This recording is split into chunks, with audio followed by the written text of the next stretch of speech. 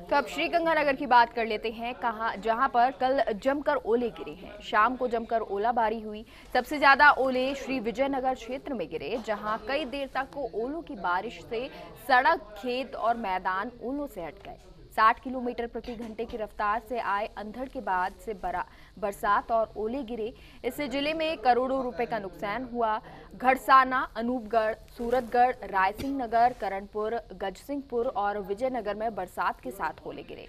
इससे फ़सलों को भारी नुकसान हुआ।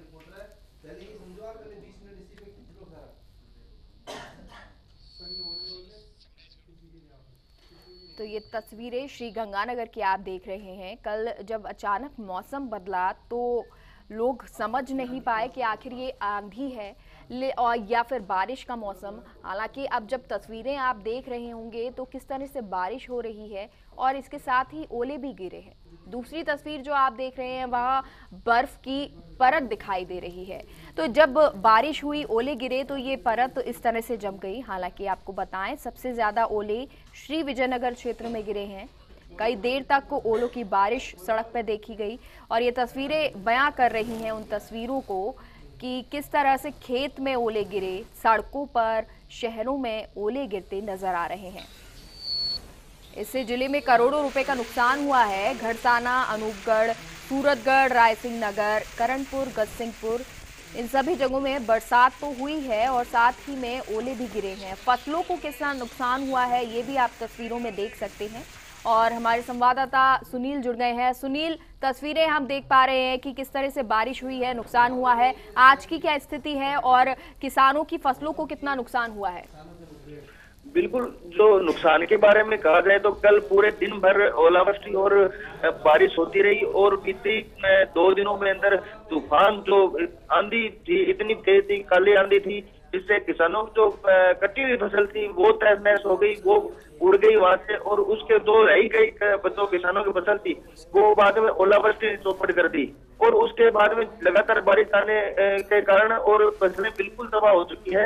ज़्यादा नुकसान रायसेनगर, विजयनगर, अनूपगढ़ गसाड़ा और सूरतगढ़ क्षेत्र में ये सबसे ज़्यादा नुकसान देखा जा रहा है और विजयनगर साइड में जो जो किसान है, वो बिल्कुल बर्बाद हो चुके हैं और आज का जो मौसम है, बिल्कुल साफ़ है। हालाँकि बादल बिल्कुल छाए हुए हैं। सुबह थोड़ी बहुत बारिश हुई थी, उसके बाद में अब तक बारिश नहीं हुई है।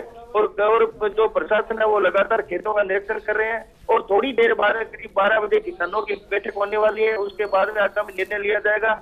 और फ़सलों को लेकर किसानों को किस तरीके से मदद की जाए और प्रशासन को अवगत करवाया जा सके।